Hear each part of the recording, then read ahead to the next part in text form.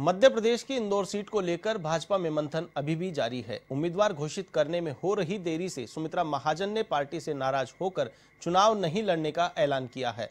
इंदौर से लगातार आठ बार चुनाव जीतने वाली भाजपा के दिग्गज नेता सुमित्रा महाजन ने पार्टी की कार्यशैली पर सवाल उठाते हुए पत्र लिखा है, जिसमें उन्होंने भारतीय जनता पार्टी की ओर से अब तक उम्मीदवार घोषित नहीं किए जाने पर असंतोष जताया है। उन्होंने कहा कि पार्टी के वरिष्ठ नेताओं से भी इंदौर से उम्मीदवारी को लेकर बहुत पहले चर्चा की थी, लेकिन निर्णय को लेकर मन में अब भी कोई असमंजस बना हुआ है।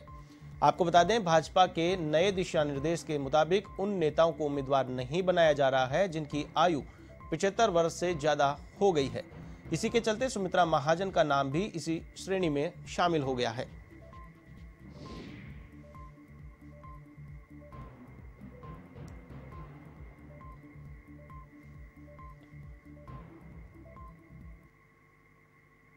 देश और दुनिया की हर छोटी बड़ी खबर के लिए सब्सक्राइब करें एवन टीवी न्यूज़ साथ ही बेल आइकन को प्रेस करें ताकि आप पा सकें ताज़ा खबरों की नोटिफिकेशन